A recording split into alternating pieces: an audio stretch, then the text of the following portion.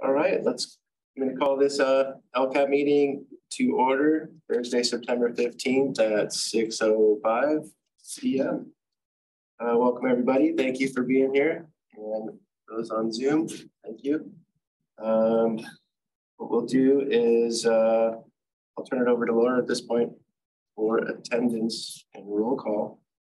Unless uh, Would you like to wait and see if we can have more on the sure. minutes and we'll do roll call? So if you want to just keep going. Okay, sounds good. Skip to to Trent then, or John. Yeah, so why don't we uh, start with our orange liaison updates. So we Okay. have uh, Ms. Costa's with us this evening. Um, so Ms. Costa, if you want to come off mute, you should be able to uh, speak to the group. all just very grateful for the community support and grateful to hear your thinking. So thanks a lot. Thank you. All right, so uh, our deputy superintendent. Melissa? Yeah, I'd love to give a couple of updates. So um, this week, so I was reflecting just on the activities of this week, and I thought it might be nice to update the pack on some of the things that I attended that are related to what's in our plan. So um, action 1.5, which is focused on workforce diversity, uh, we have built in there our Cultivating Leaders pilot program, which is a leadership development program that's focused on building skills of teacher leaders, aspiring leaders, new principals, and also new vice principals.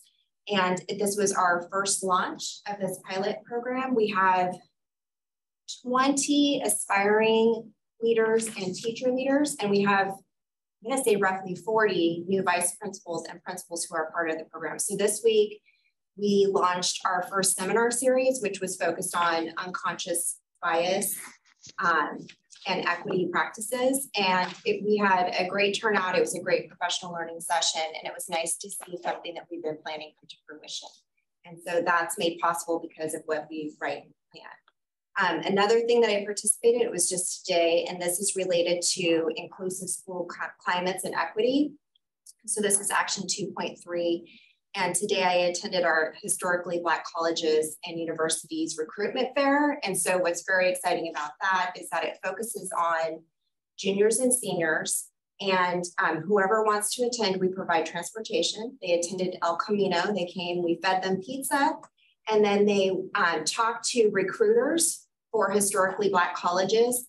And um, there is on the spot interviews as well as on the spot admissions that occur. And some students are awarded um, scholarships on the spot. So that happened today. I don't know the numbers of how much, um, how many admissions occurred or scholarships, but I can loop back with the pack later because they, they just did that today. So um, it's neat to see stuff in real time happening, and I thought I would share that with the pack. Uh, Um, I was going to ask when you said the new principals and new vice principals, what qualifies as new? Is it anyone who's like a first year this year or people within a couple of years of just starting? First and second year. Great. I can imagine juniors and seniors that get the great news that day and not expecting that. That must be Yeah, that's amazing. Yeah, good feeling. very cool. Very good. Thank you for that report. That's great. That's really All right, well, I'll turn it over to Laura for general visitor comments. Um, at this point in time, um, we open the floor to visitor comments. We have one visitor in the room, Mr. Nelson, would you? Uh, I don't have any comments. Okay, thank you. All right, next on the agenda uh, is about the superintendent selection process. We're gonna ask the PAC for some input on this. I'll give that over to Trent. Thank you very much. Thanks, Steve. So um, I think everybody's aware we're in the process of looking for the next superintendent as Mr. Kearns has uh, said he's going to retire before the end of the school year here. Um, and what we would typically do is go out and, and ask for input along the lines of what are those characteristics people want to see in a new superintendent. Um, and as the board kind of had some conversation and some dialogue this time around, um, they wanted to change that just a little bit and really focus on what are those bodies of work that they really need this next person to focus on so they can look for the person with the skill set to really meet those challenges as well. So we've been going out and doing a process where we've kind of focused on two questions. One is around what are those things we really value in the system right now? Those things that are important to us, those things that we think are either working well or that we want to make sure we continue to invest in. Uh, and then the second question then, of course, becomes, what do we want to see in the future? What are those hopes we have? Uh, what are those areas of opportunity that we think are out there for us to address? Or are those new bodies of work that perhaps we need to bring to the table and have some conversations around? Um, so that's what we've been going out and doing. Um, we've had some uh, forums, we've had uh, a rather uh, large thought exchange process that went on. Um, I've been to all the committees that have been meeting in late September, or I'm sorry, late August and early September. Uh, we gave an email invitation to the other committee members who weren't able to meet during those times. We've been out to all the employee groups. So we've been out to uh, quite a few folks to have these conversations. Um, and you guys are actually the final group tonight that gets to provide some input to this process. What we're doing with all of this, of course, is before the board goes through that uh, selection process, so before they go through paper screen and before they go through actual interviews, they're going to take a look at all this input that we've collected um, and really look at what are those bodies of work that are being called out. So they have that as something to reflect on as they look at who the next superintendent will be. So with that, I came prepared to break everybody into groups and let's have some conversation. Um, and I'm going to pivot um, and uh, instead just have a casual conversation because we have uh, a small group tonight. Um, but I'll start with just kind of that first question area um, and have some dialogue maybe of what are the things right now that we value in the system that we want to make sure we continue, that we want to see a continued investment in?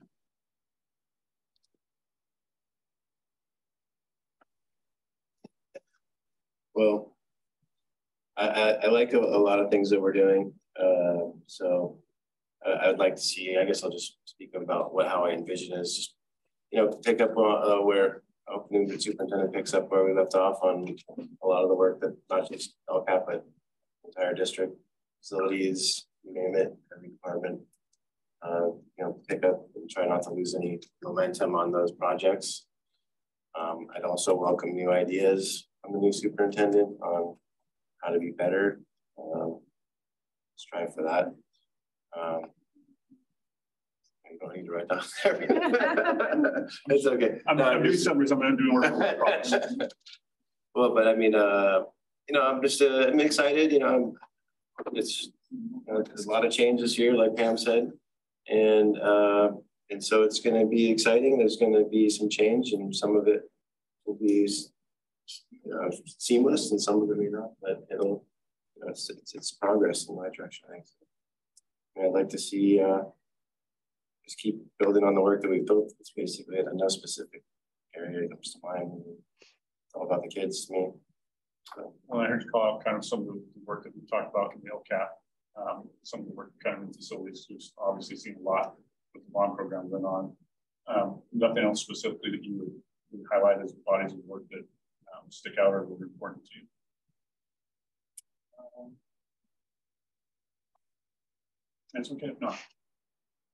I mean, um, I have things that are, I'm thinking about my, my, my kid's school. So, I mean, there's things that I would hope and dream would happen at my kid's school. But I think just working towards community, community building, especially after COVID, it, it was rough. Being a parent trying to have that community back when you're getting kind of pushed off. So I, would like to see us building more community. Um, and when you build community, students do better. And so I'd really like to see that. I mean, I'm not saying like events and things like that, although that works, but I'd like to see more parent involvement, not just like in committees and things like this, but on each individual school site. I'd like to see more parent engagement, which is all about the community. And when there's when there's parent engagement, students do better. It's just and they're safer on campus and all the way down the line. So that's kind of near and dear to my heart. Um, and that's, I think that's my number one, I think.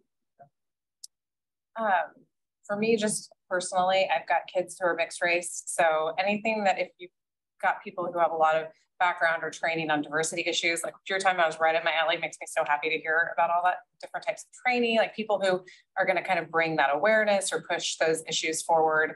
Um, I guess, yeah, I don't know. I like that. I, I think it's very cool that the group at Rio has started kind of a discussion around dress code and people have been receptive to that.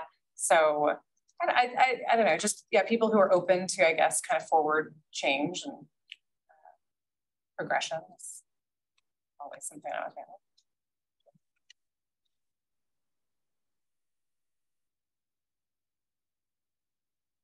And so some of the comments um, kind of led into that second question, which many of our my conversations of has, which is just those hopes for the future. Um, are there any other thoughts on kind of pieces that you want to see brought to the table, perhaps maybe even things that we don't really tackle right now that would be new bodies of work or um, areas of opportunity that we could really invest more heavily in and, and really focus in a different way, perhaps. So would this be like experience that a candidate might have, or just things that you think once they take office, you like to see? More, more about the, the system as a whole and things that you'd like to see in the system. So the context being that we'd be looking for a leader who can help us do those things. I mean, what, Uh, sorry. uh, That's okay. I was gonna say, one thing I've noticed just working at the school level is I think sometimes it's hard for parents who maybe have an issue or question to understand how to navigate uh, getting higher up at the district level, who to talk to. I know a lot of times if there's a conflict or a problem or a disagreement, or maybe they or the teacher or the principal doesn't see eye to eye, they're kind of referred to a certain department. And I think I've seen like a loss of faith where people don't think that's going to get them anywhere. So maybe kind of focusing on, you know, getting parents in a, I don't know, more of a comfortable mindset where they feel like they're being heard if they want to have a complaint or an issue that they bring up to a higher level. Navigating the sys- system. Yeah, or just understanding how to do it or, you know, what people need to. To go, how to. Yeah, yeah, I think there's a lot of confusion around that. So I, what comes to mind when you ask that question, I is A to A to G. the Graduation rate, performance, preparedness for after high school. And you know, some, the, the numbers are, have suffered in the last few years, so I'd like to see a big improvement on that. Uh, so I mean, who doesn't? But um, and then there's certain, uh, there was a Wall Street Journal article about fourth graders, and my son's a fourth grader, so it immediately popped out on the how how they're kind of affected. Certain certain years or ages were affected more or less than than others. So I'd really just like to kind of just follow the, the data that's coming out real time from from uh, the Department of Education on what groups and what age groups need need the most support. Um, and and I and I can't help but think about like so, you know, the the kids that were that are now I guess sophomores in college that left when their senior year was COVID, and then some of them were freshmen in college and their senior year was COVID. Um, I guess that might be off by a year, but um, it's just I, I don't want I want that to. I'd like to see a, more normal path for these kids graduating high school, so they don't have to and I'm worried about them uh, when they get to college, and then if they fail, they're they'd be kind of crushed, you know. And if they're not ready for the real world when they graduate high school, even though they may have a 3.0, if it's not really a 3.0 by collegiate standards, it's kind of letting them down. Not kind of, it is letting them down. So um, I would like to see a focus on education and uh, as far as just nuts and bolts and and maybe short term and but I just think that uh, you know, we, we're shortchanging them if they're not prepared for college when we, give them a diploma. I would like, like to see them devastated or not motivated after they fail freshman year.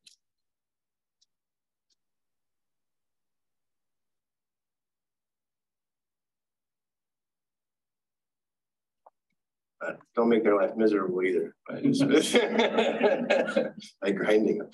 But just you know, focus on, you know, trying to eliminate some fluff and hone in on getting them ready.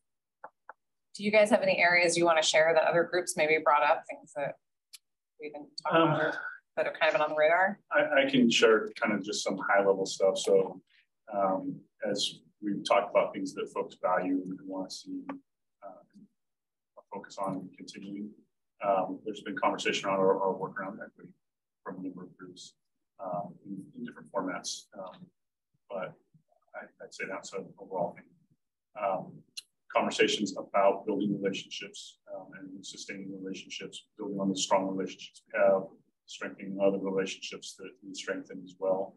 Um, certainly part of the conversation I've heard. If you do go online at uh, san juan.edu slash participate, thought exchange results are up there. So you can see all the theme areas, you can see all 789 thoughts that were shared as well and how those were all ranked. Um, so there's quite a diversity of thought in there. Uh, we themed them into 10 um, theme areas. Um, of course, that's our theming. Feel free to scroll through and see kind of what themes poke out to you. Um, but it, I think that gives you good insight as well, because we did have over a thousand people participate in that. And it was really a good mix between over 24, 25% students. Um, the majority were parents, um, and then a mid group of, of, staff. So it was actually a really nice mix of participants this time around. So um, that gives us good insight, and it's generally mirrored the conversations I've had with small groups as well. So anything else you want to add to the conversation, or have we had anybody jump on Zoom by chance? We have a couple of people trying to um, come on, but they're not able to. I guess uh, I'll bring up uh, on the facilities end. Um, some of the K through 8 schools, and this is kind of talking to myself a little bit, the kids at my son's school, is the middle school is kind of not really a middle school. Um, no lockers, not even a 12 by 12 inch box to their phone safe or anything like that. So there's kind of a, and I've heard, I've talked to other parents at different schools and they kind of say the same thing where there's not really a middle school experience at the K schools in sixth, seventh, and eighth grade. So if there's any chance to get something more of a middle school experience in facilities, um, you know, some of the, the buildings need some help, the classroom, the temporary classrooms, maybe they need some structures, real structures now at this point. I think they're 20 years old or something. We're never supposed to be that at this long. Like I said, lockers, um, maybe some programs district-wide to make like a mentorship for eighth graders. I know they have buddies and things like this, but maybe something that's community-driven or fundraisers that the kids could do to support the community. It's just ideas. So I'm going to take this back and incorporate it with the other committee uh, conversations I've had. I do break it out kind of by committee so folks can kind of see the different voices from the committees. Um, I'll share that with the board. Again, they're going to take a look at all that before they go through that selection process. Um, but then we'll be doing that kind of second half of this month, um, through that process. So we'll have some updates probably towards the end of the month over and kind of where we're at.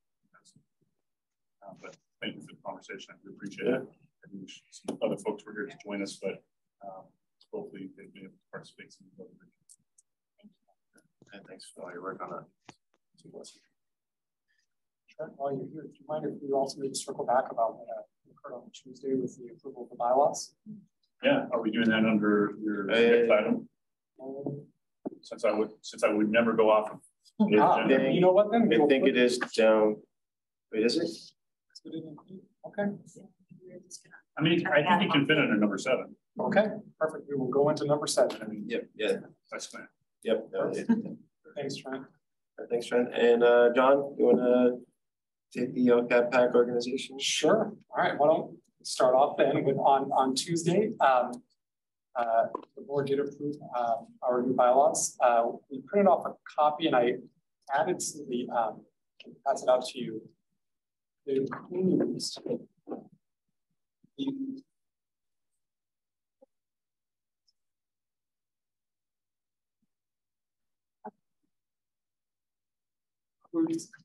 advice that shared at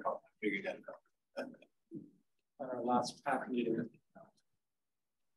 Um, we just wanted to make sure that the facts could see where the input that was provided at our last meeting and how that was incorporated into um, the final adopted uh, revisions there. So you can see on page one, uh, we changed in this regard from um, a majority to any number.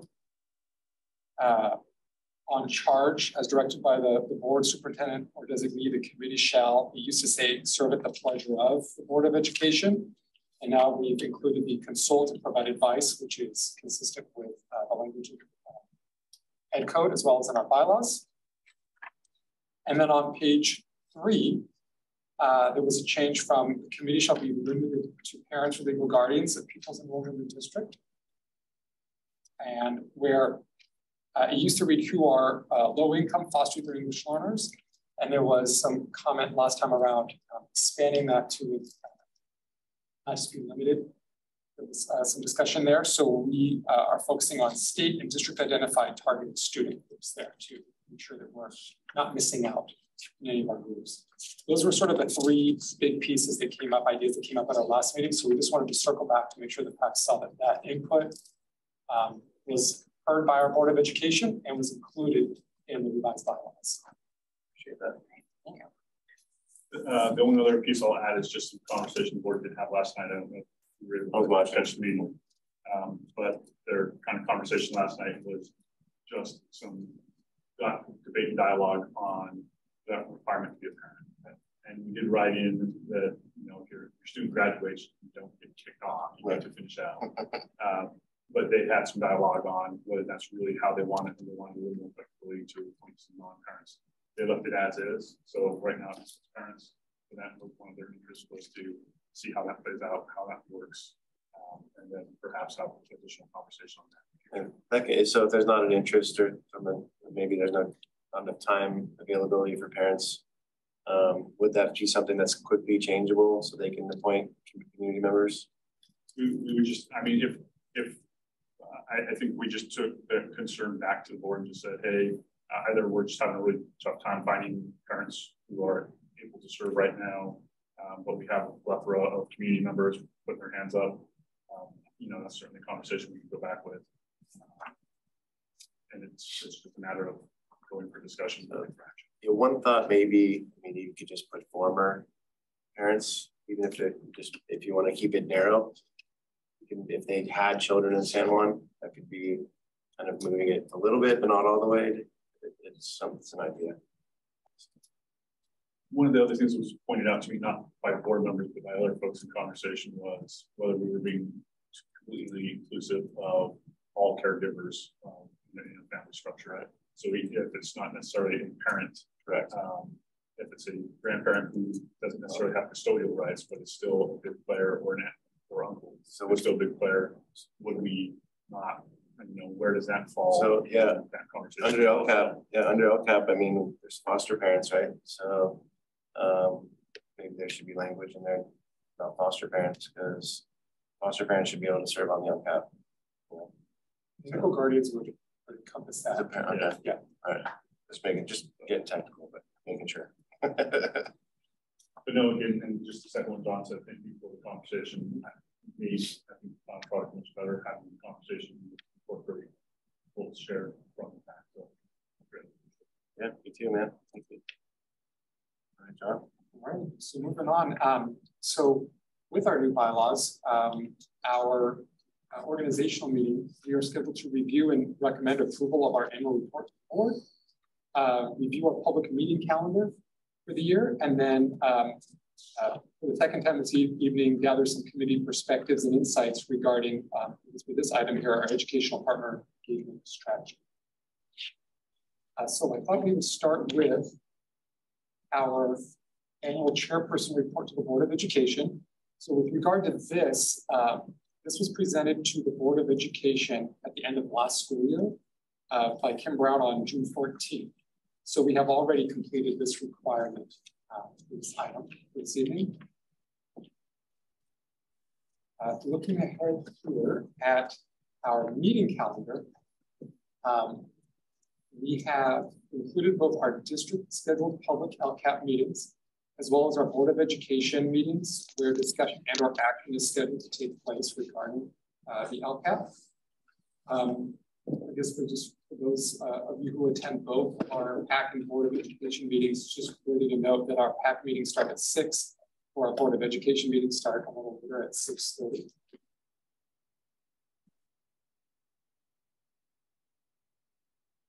And then with regard to our educational partner outreach strategy, um, essentially what I'd like to do here is, is begin by sharing what our outreach strategy is with the group, and then we can end by providing uh, an opportunity to engage in some discussion as well as uh, consult and provide some advice uh, to the Board of Education regarding our educational partner strategy. So LCAP development really begins with education code. And it states that, we, that the districts shall consult with teachers, principals, administrators, other school personnel, uh, local bargaining units of the school district, parents and pupils in developing our control and accountability plan.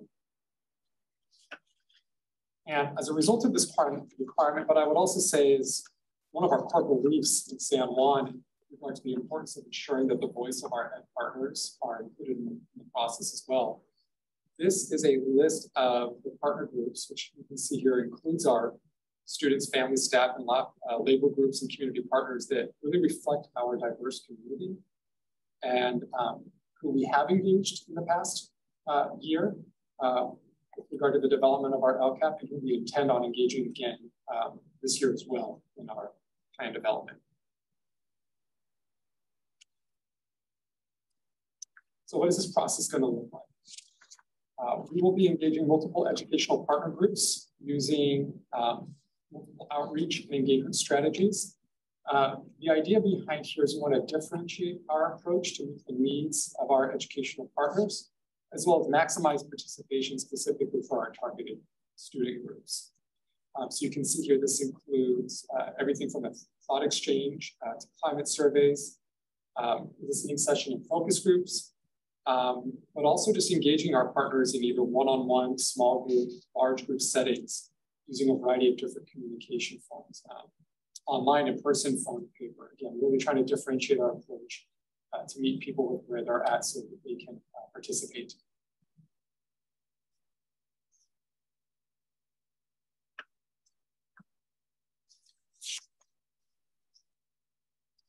All right, so then what we'll do is um, after we engage in this process, we then review the educational partner input that we uh, collect for common themes. And we look not only within groups, but also across our groups, um, looking for themes that are connected to our four LCAP goals.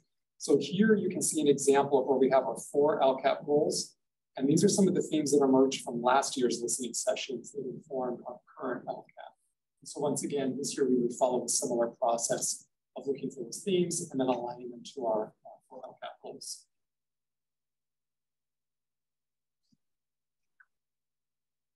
And collectively then, we then use this data along with additional uh, data that we have to revise existing actions, develop new actions, and then target funds strategically. And so what you can see here with this slide is it shows where our ed partner key themes for goals one and two as an example are reflected in our current LCAP actions.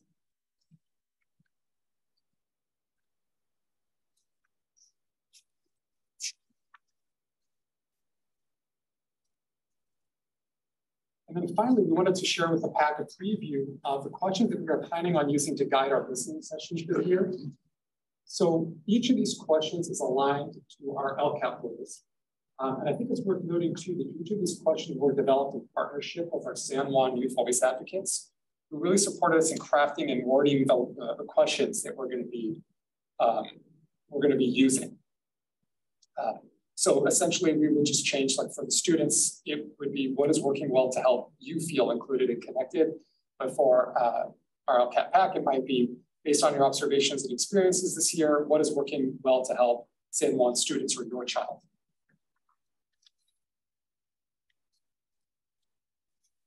And then our plan for collecting voice um, will be to ask all parts of each of the questions um, up front and then open it up to the group to engage in conversation. And then as the conversations are going, we can capture the group's thinking using this graphic organizer, which really highlights the three parts of each question, which are um, the help would be sort of would be the plus, preventing um, the minus sign, and then what additional ideas do you have?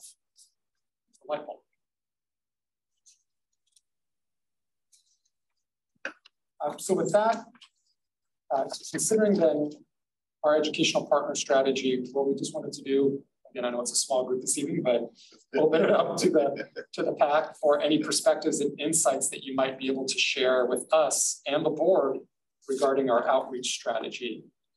Uh, this is one where the next superintendent, whoever, we, we talked about that earlier, just pick up with where, where we are now is keep adding to our list of, uh, community groups, building on that. I think that would be one thing that first comes to mind anyway. I think it's an impressive list of educational partners. It's great to see so many different groups represented and getting to have input. Yeah, at at our leadership meeting, I mentioned to John, that's, it's good to see because it's my third year. It's that list just grown a lot, probably doubled in size. Two, two years or so. So it's good to see that going on. Um, as far as Also, I love how the students got to be included in the questions. I think that's one of my favorite things about this. They had a lot to say in the debrief. So we debriefed with them at the end of last year about their experiences with facilitating listening sessions. They gave us a lot of great feedback. And so um, one of the pieces was how do we help get them more involved in the planning elements because they were involved in implementing, like they were doing the listening sessions. So John bringing them in and helping them give voice and input to the questions are going to make them just that much better when they go out and talk with their peers. What a great resource. Yeah. It's like such a smart Yeah. way to do it. No, they such a good group of kids. How, how are we, uh, uh, what, you know, like what form are we reaching out? Is it, a- is it an in-person group or is it out via email or is it? It's a variety of different Yeah, okay. ways. Um, we're using every, so let me give you an example. Um, we have some folks within our community that are connected to more of our uh, targeted groups. Um, uh, for example, because they are fostering students. So we have folks that directly work with our fostering students who might engage the group. But we even have members of our San Juan Youth Voice Advocates who um, are in foster care and will be conducting those uh, listening sessions because of the relationships and just the safety and openness of that. Where my presence, for example, would not necessarily be welcomed. Um, uh, and then there are other ways we're working with our bargaining groups to find additional staff members who represent our different bargaining groups to, to participate. Um, uh, and then, of course, we're reaching and working with our FACE department to make sure that we're engaging as many different um, family groups as well. So really, that's just a small sliver of the ways we're trying to engage our families. Great job. So I'll ask you, I will pause here. Are there any visitor comments? Okay, no. Anybody on Zoom? Anyone? Anyone on Zoom? We had um, Stephanie and Loria trying to update their computers to get on, but Well, Then we'll move right along. All right. Committee business. Yeah, should we go ahead and take attendance since it doesn't look like Not going At this Yeah, point, yeah, we should. Just go ahead. and- Right, so um, I'm just gonna acknowledge the people that are here, if that's okay. Yeah, that makes sense. All right. So we have Elizabeth. Yes. Yes, you're. Steve. Here. And then the minutes, of course, we don't have a so. Yeah, we'll do that next time, Okay. March.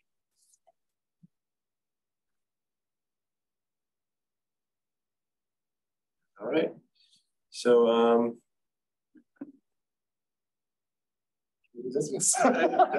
all right, uh, we have, um, some updates to our binders. We have our binders here for those, uh, who who have been here to get them.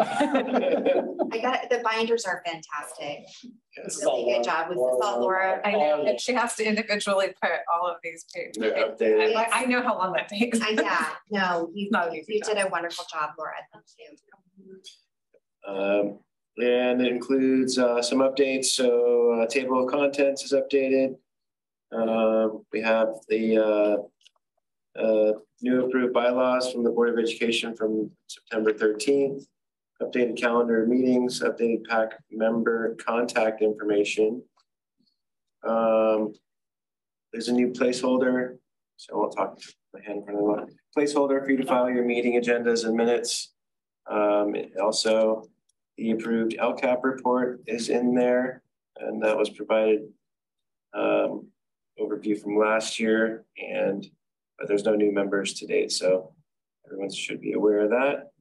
Um, it also includes updated LCAP summary infographic. Um, so there's, uh. So it's a show, okay, it's a short kind of condensed version of the LCAP and, uh, but does not include the metrics. Um, includes resources links both for text and to video, and I'm assuming the video is our previous meetings or, Oh, it would be like uh, CDs around the Okay. top in thirty seconds. okay, so some, Is it the resource training kind of, yeah. Training things, yeah. okay. All right, um, and then, uh, some, as a glossary of terms with acronyms and glossary for, for, uh, terms. And, um, so we had discussion and a vote last year about the LCAP PACS picture on the district website on the LCAP page. Um, so, um, I guess we can send an email out to folks, uh, about if they want their picture on the website still or not. Um, and, um, anything else you would think? We're taking our own picture, right? Not Yeah, yeah, yeah, like we, yeah, we'll submit our own pictures, Whatever yeah. photo you find. Like Tom, Tom is who's here, he, he got, uh, his, his picture hijacked off his his Facebook page last year, I think, for his. They could go in. That's fine. He's like, I don't know how I feel about getting stalked on mine. That was a fun memory. So we won't do that to anybody, I don't think. So, uh, just let us know if you don't want your picture on there and because we submitted pictures. Is there a page? Do we have like a page where our names are listed? Uh, yeah, so there's committee, there's the committees page, and then there's the LCAP page. Our names are on the committees page. So, um, but if our names are not on the LCAP page, but if with our picture and our name. So, Um, and I think we're on to future agenda items. I think, uh, the only thing that I, I would like to see happen this year is uh, when the, when the California dashboard is updated, I'd like for us to spend some time on that. Doesn't have to be like a ton, but maybe take some screenshots of where we are uh, now or versus twenty nineteen, because that was the last time we had any new data. So I'd like to see something on that. Doesn't have to be two hours worth, but maybe give something where people can see what we have to present on that, and then they can kind of take it home and dig further. Um, so I don't know, that's just an idea. I know it's, it's a great idea. And actually in October, um, our assessment team will be providing a presentation to the Board of Education um, regarding uh, the new dashboard that's going to be released in December of this year. So, um, for example, those slides can be shared. And then if you want to tune in to the, the, the board presentation, or we can provide that for folks as well. That'll provide a nice overview of what exactly what you're asking. Yeah. And it, it really covers our metrics, our internal metrics, and, and some of the pieces of information that correspond with the dashboard. So we can get you that information. You can tune in, you know, if you want to watch the video of the board presentation. and all the Back material. I watch every board meeting. You do? Oh, yeah. Awesome. And I report back to my PTA at school, the district liaison for the PTA, so let them know what's going on. My pleasure. And, um, let's see, Laura? Oh, sorry. Uh, we have, we actually have Stephanie on board now. Um, she, has she been admitted? Okay, Yeah. So we have Okay, cool. So I think we're at general visitor comments for Laura, and then we can adjourn early. Comments, Okay. All right, uh, Uh, we need a first and second motion to adjourn. I'll move to adjourn. second, your move to adjourn. Uh, it is six forty-seven. This meeting is adjourned. All right. Just enough to make that happen. Yeah. Get to do that.